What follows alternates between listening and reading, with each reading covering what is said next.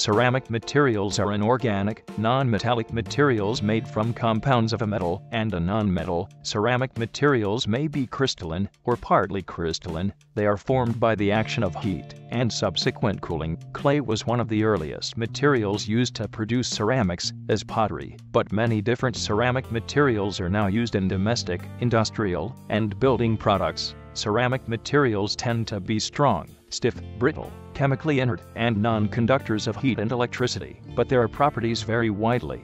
For example, porcelain is widely used to make electrical insulators, but some ceramic compounds are superconductors.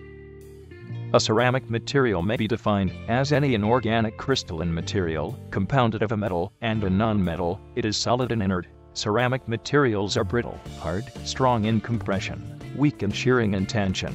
They withstand chemical erosion, that occurs in an acidic or caustic environment, in many cases withstanding erosion from the acid and bases applied to it. Ceramics generally can withstand very high temperatures such as temperatures that range from 1000 C to 1600 C. Exceptions include inorganic materials that do not have oxygen such as silicon carbide. Glass by definition is not a ceramic because it is an amorphous solid. However, glass involves several steps of the ceramic process and its mechanical properties behave similarly to ceramic materials.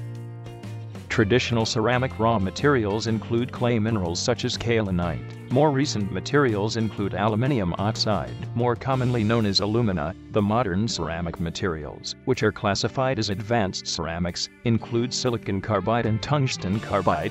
Both are valued for their abrasion resistance and hence find use in corrosive environments such as the wear plates of crushing equipment in mining operations where other ceramic materials would not be suitable. Advanced ceramics are also used in the medicine, electrical, and aerospace industries.